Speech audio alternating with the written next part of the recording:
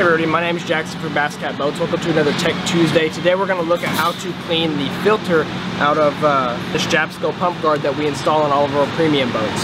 So essentially this unit is in line and installed and all you have to do is take this cap off. These filters you don't replace, you can just take this, dunk it in the lake, wash it out. Now you're going to have, you know, crawfish, you're going to have shad, scales, all these things that are going to clog that pump up. So what you're going to do is just clean that off every now and then and then you're going to place that cap back on. Um, so where you access this in a Puma STS, when I open this latch here, and I go back here, I've got an area for my power pole pump to mount, and then this is just mounted on the back of the live well. I've got one on each side. So I'm gonna reach down in here, I'm gonna turn this, pull my screen out, I'm gonna wash it off, clean it, I'm gonna place it back in there, and I'm gonna go right back on the pump, or right back on the mount there,